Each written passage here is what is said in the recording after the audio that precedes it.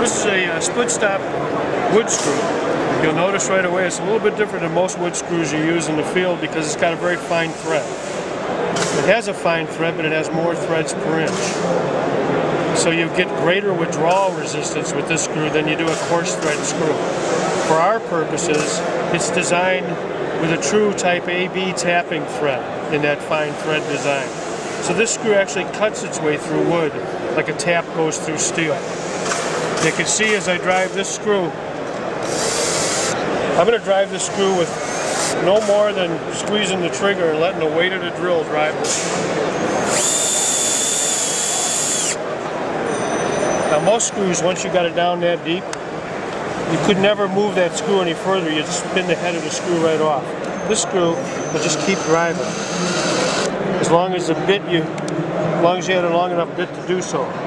Now nobody's going to do that in the field, but it just shows you how easy that screw is to drive, and that's a result of that low torsional load thread.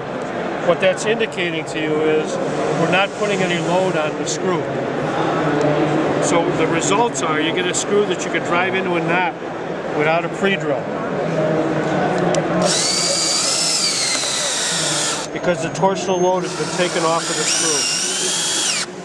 We create sawdust when we drive.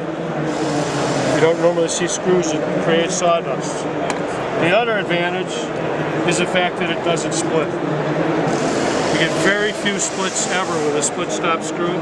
Here's a piece of 2x2 baluster stock. The bottom piece has a pretty good sized knot in it. This is not even full 2x2 and you can see I'm getting a number of screws all driven into that 2x2 without a split.